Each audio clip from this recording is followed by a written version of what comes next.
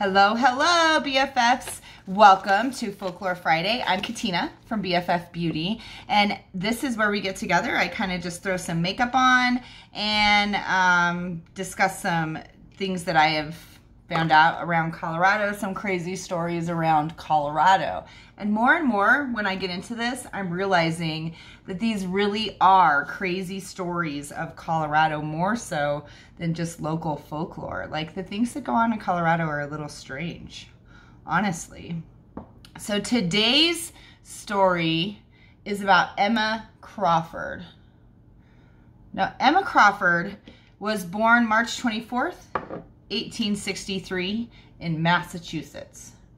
And she was somewhat of a musical marvel. Now, her mother was a piano teacher, but by age three, she could play the piano just as well. And they said that her most beloved and cherished toy was her piano. So, age three, she's like, nah, I don't want to play with dolls and so forth. I want to be on my piano. That's all I care about. That's what I want. That's where my life is. Hanging out and having a good time on my piano. And of course, everybody just listened to her because what three year old plays the piano? That's amazing. So she started getting sick around age seven, just various illness. It doesn't really state what her illnesses were, and it doesn't talk a lot about her father. So I'm not sure if maybe her father died or what, but it was it talks a lot about her and her mother. I know there were some siblings, but um, doesn't really I really haven't gotten a lot of information on the whole family works other than her mother was Madame Jeanette Crawford and she was a musical teacher and she taught the piano. So so by age 12, she herself was teaching piano lessons to neighborhood kids. Um, by age 15, she was giving concerts in Boston with world-renowned cellists and violinists. She was quite a musical marvel, though she attributes all of her musical mastery to a spirit guide, an Indian spirit guide. Her and her family were part of a spiritualist society, and they believed that they had an Indian spirit guide from the spirit world leading them through this world. So she attributes all of her musical mastery to that. She also played the violin, the viola, the cello and the mandolin in her time away from playing the piano. So she was quite an amazing and accomplished young lady by the time she was 15. Just amazing. And that was in, um, she played concerts in Boston in 1878. So, you know she was she was pretty accomplished and they always made comments about how delicate and tender her hands were for the sound that was coming out of her um, she never ever took a lesson by human hands though. So, I mean, that's that's pretty amazing. And that that was her life, but she was also very sick. So the poor girl, she has this amazing musical talent and she's very ill as well. So they determined in 1889 that she had tuberculosis and that the healing properties of Colorado is what she needed, the hot springs, the mountain air, the just healing properties of Colorado. Now, lots of people over the years have said Colorado had healing properties because of that, and the Indians really believed it too. So she and her mother and family moved to Manitou Springs in 1889. they rented a two-story frame house with bay windows and a gable roof, so it's told. And this was on what was then called Ute Avenue. So Ute Avenue is now called Capitol Hill Avenue. I'm looking for my eyebrow pencil. All right, it's now called Capitol Hill Avenue, but it was Ute Avenue when she lived there. She was engaged to a man named William Hildebrand, and he was an engineer from New York, so they had money. Um, he was working on the Pikes Peak Cog Railroad while they were here. So everybody was here. They all moved here they all were staying here and things seemed to be going pretty well for a couple years. She seemed like she was maintaining, they were making a name for themselves in Manitou Springs. Everybody loved her musical talent. Her mother was teaching piano lessons. her soon to be husband, her betrothed, is working in this big company, building this railroad. One of the most important things to how the West was won, the railroad. Very, very important situation out here. So to be part of that meant that you were going to have some money. It was going to be, or that you already did. So she seemed like things were going well. She was doing well, getting better. Things were going well. But nature was Emma's second love next to music. So she really loved to be out at the mountain. She loved to see the mountain. She loved to be part of the mountain situation. Um, she made friends with people in town. She was becoming quite popular. And one of the friends that she made was a teenage boy, and his name was Bill Crosby. William Crosby. And William Crosby, just a teenager at the time, his, his whole family were friends with the Crawford family. Um, he said that Emma had fancied that she saw a handsome young Indian buck spirit up on the summit of Red Mountain. So she felt she was supposed to go up there to see this Indian spirit. I had to back up there for a second and prime my eyes. I almost forgot. So she that she had to go up on this hill and meet or up on the mountain, climb to the summit of Red Mountain from Manitou Springs and meet this Indian spirit that she said was summoning her up there.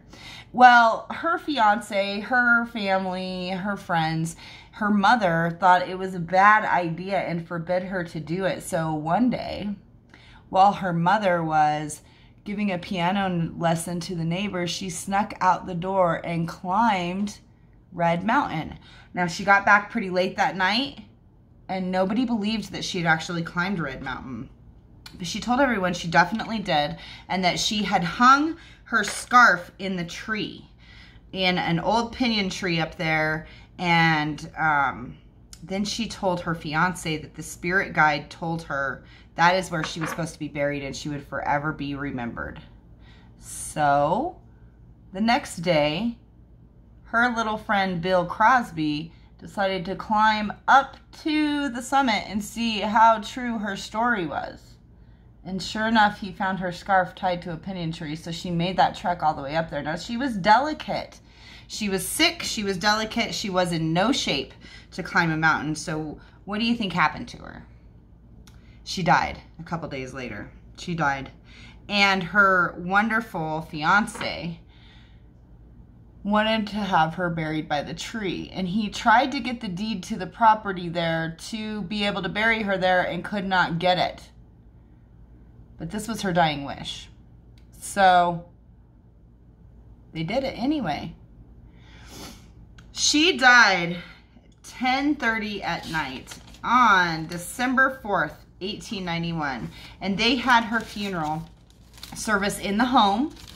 And they buried they went to bury her by the tree anyway. Now this the paper of course got a hold of the funeral service and went there and saw it and they said that only family close acquaintances and votaries of the faith were there votaries of the faith are referring to the society of progressive spiritualists of colorado springs so that's the society that they were then a part of. And there was a reverend that led the service, Reverend A.R. Kiefer, and he was a minister of the Spiritualist Society. So the paper wanted to go see this service, and they said that it was unusual, an unusual but impressive service, peculiarly, peculiar, peculiarly sweet music with a weird harmony as her mother played the piano at her funeral service. So that is the story. I mean, a little bit weird there, huh? So on December 8th, 1891, four days later, so four days of mourning, they two shifts of pallbearers carried her coffin up to this tree and buried her there. um, her her friend Bill Crosby was there, and his god grandfather actually was one of the pallbearers that carried the coffin up. So he he had a statement to make about it. He said, They buried Emma on the mountaintop beneath an ugly, un- windswept tree. They covered her grave then in stones. Her fiance looked like a stricken man beside that grave. End quote. Now, fast forward. There was a severe rainstorm in Manitou Springs. And in the summer of 18 or 1929, the severe thunderstorm, rainstorm in August 4th, these two young boys were playing in their backyard out behind their residence and they found the skull of a woman or a skull of a human and so they got the police involved and the police came and looked. They found a bundle of human remains they found a coffin handle and they also found the nameplate from Emma's coffin. So Emma had washed down and they took her remains to City Hall. Now, the coroner said he did not have jurisdiction over her body because it was buried up on Red Mountain Pass. And there within City Hall, her remains stayed for two years. She did not like funerals. She was not cool with formalities. She did not want to be buried in a cemetery. That was the whole reason she was buried up on the hill, other than the spirit guide saying that if she was buried there, she would never be forgotten. So Manitou Springs spent two years looking for family members to claim her body then. And in 1931, her good old family friend, Bill Crosby, springs up and says, I'll take care of her body. And he then had it buried at the Crystal Cemetery. So that all being said, she's still buried in a cemetery where she didn't want to be. But at least she was taken care of, right? Well, over the years, the story has gotten out that basically there was a rainstorm and she came plummeting down the mountain in her coffin, smashing to bits at the bottom, which has prompted now, as of 1993, a memorial festival, the Emma Crawford Memorial Festival in Manitou Springs, where they have coffin races so this is the second town who glorifies somebody's death by coffin races, where they it's like derby cars and they race down, race each other and try to stay, you know, intact in their coffin car. So the craziest part of this whole story is that they now have a memorial festival for her, and in 2004 they actually gave her a memorial on her unmarked grave, a, a headstone. So she is now forever remembered, just like her spirit guide said she would be. Crazy, right? So, also along this whole situation, her spirit guide tells her that she's going to be remembered forever. She comes washing down the hill. They forever have a memorial festival in her honor. And she's forever remembered, right? How did they know this? How this is insane. It's insane. The spiritualist society that she was a part of has expanded and now become a spiritualist cult in Colorado. So there's something to be said about this whole situation, but we'll get into that next week. That will be next week's topic in crazy Colorado stories. So let's think about this for a second. She comes racing down the hill. Nobody forgets her, just like her spirit guide said, and she was part of a spiritualist society. So that's crazy, y'all. I want to find out a little more about this spiritualist society. It's just a little weird to me. So, I believe that's going to be next week's topic for Folklore Friday, aka Crazy Stories of Colorado. I want to find out about this spiritualist society and cult, love cult, that apparently is still going on today. It has morphed into something absolutely insane and crazy, from what I understand. So let's touch base on that. Let's see what's going on there. Let's see what kind of truths can be had from this spiritualist society, y'all. So that's it for today. Check out Manitou Springs. Check out Emma Crawford's Memorial. Maybe check out a coffin race. Thanks for watching Folklore Friday. Have a wonderful week and BFFs. See y'all next week.